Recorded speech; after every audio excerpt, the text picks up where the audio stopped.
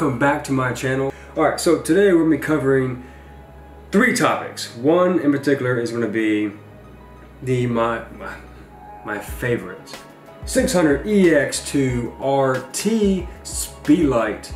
So this camera accessory is, I have to say, I'm not a big fan of, um, of flashes. I like natural lighting. Natural lighting is actually one of the, the beautiful aspects of living here on Earth, I think. It's, it's the colors in the sky, uh, mixture with uh, the amount of light coming from the sun, and of course you have the clouds contributing as well. Nothing beats it. You have golden hour yeah, and you have um, nautical and civil twilight. You have those, those um, aspects contributing to a beautiful, beautiful picture. And I really don't think that anything you can make in the studio can mimic the true beauty of being outside and just capturing the world through the lens. And um, I recommend you use the 600X, EX I should say, uh, 600EX2 RT. Uh, this light, which here it is. So this is my setup for anything and everything.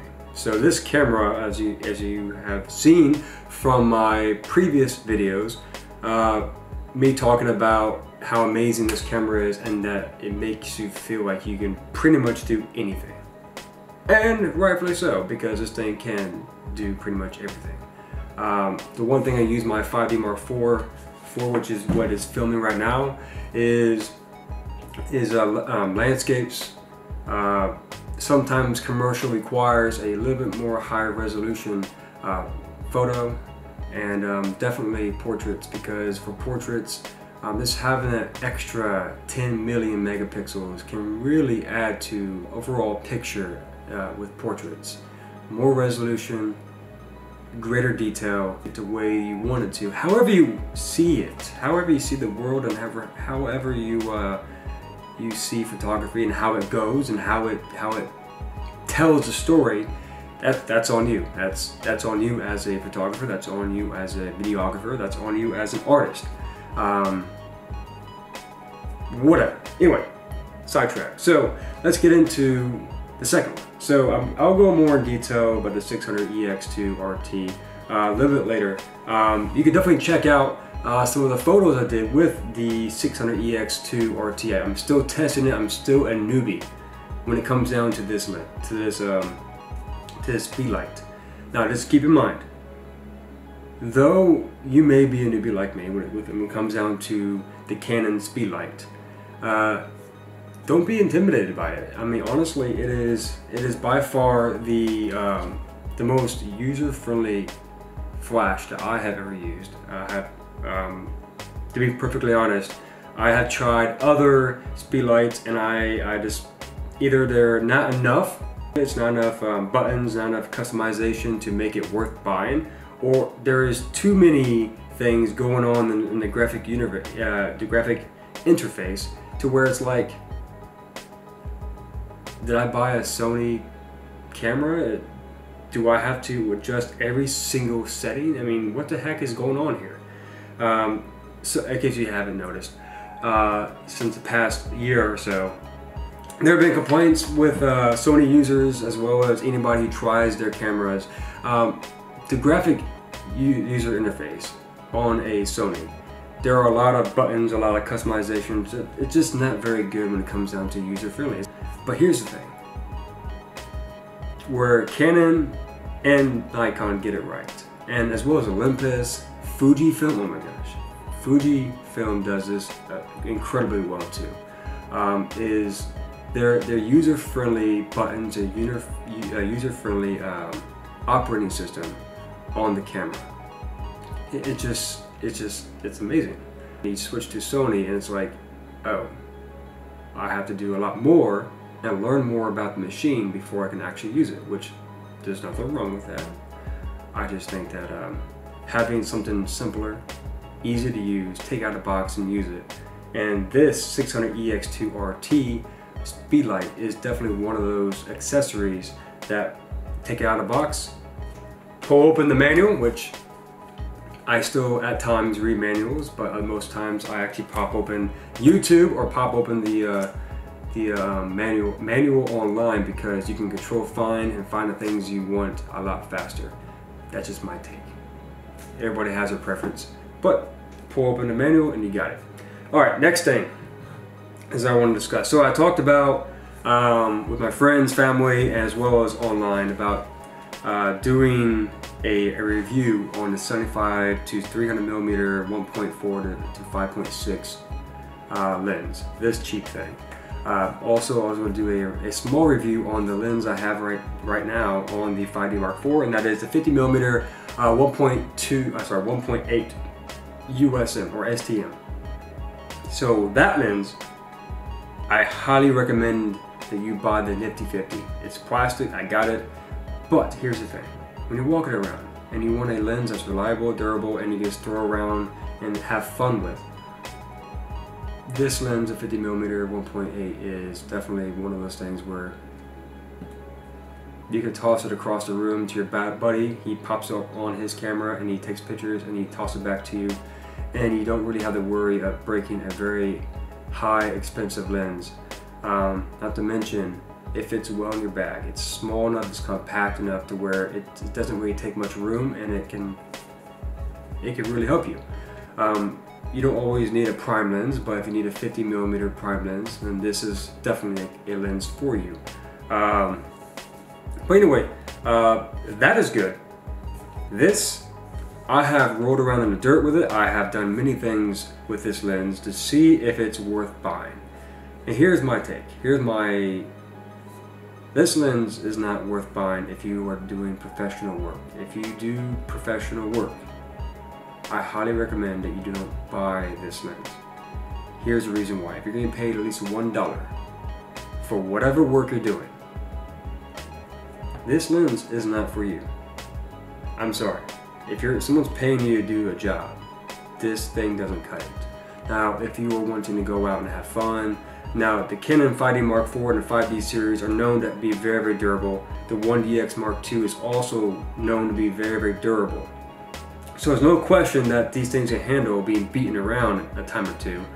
Um, but when it comes down to this lens, if you want to go out and videotape or um, take stills of wildlife or sporting events, and it's your kid's sporting events, and nobody's paying you to be out there, but you just want to take a small, a small lens. This is very, very small compared to its competitors or this uh, its counterparts, which is the 70 to 200 millimeter, and it ranges all the way up from there.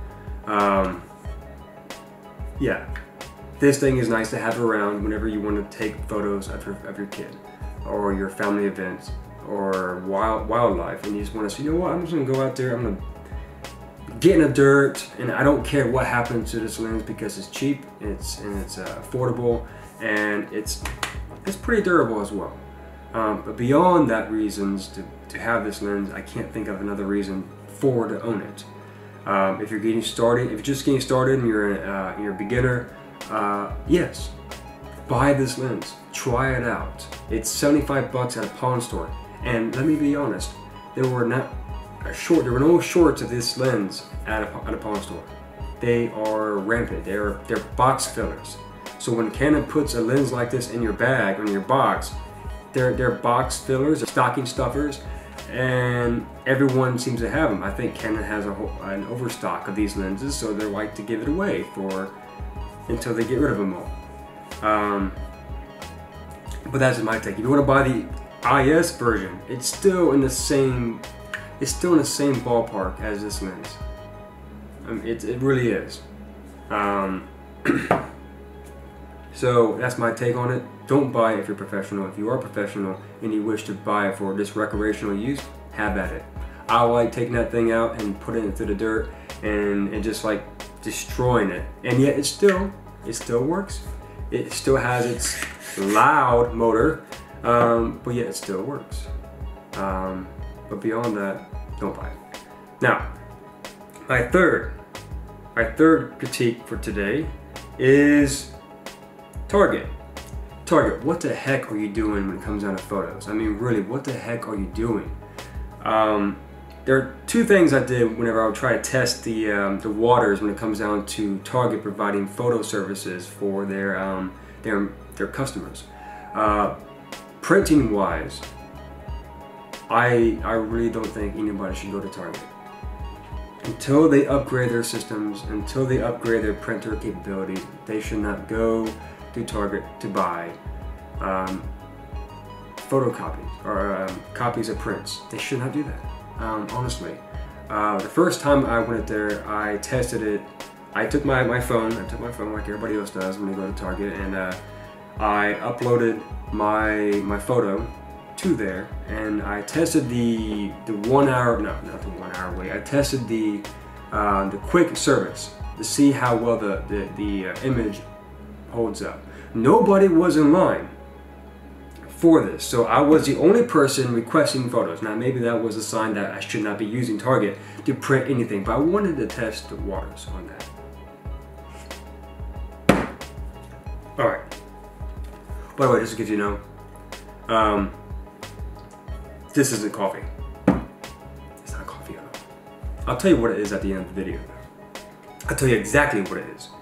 And shout out, shout out to uh, Peter McKinnon um, you absolutely love coffee, and I absolutely love your work. I love it. I love everything about your work. I think it inspire. It absolutely does inspire me to do the best that I can do in regards to photography. And your work shines through my work because I am I get inspired by you. Um, each and every day, I try to look at your videos and try to get a little bit more inspiration. Now, there's a lot of things I don't know about photography and you show what I don't know. Um, what I do know, uh, whatever you reiterate or what I know, um, you definitely help me up my game in whatever aspect of photography. Whether, whether that be street shooting, whether that be uh, low light, night photography, or when it comes down to simple videos.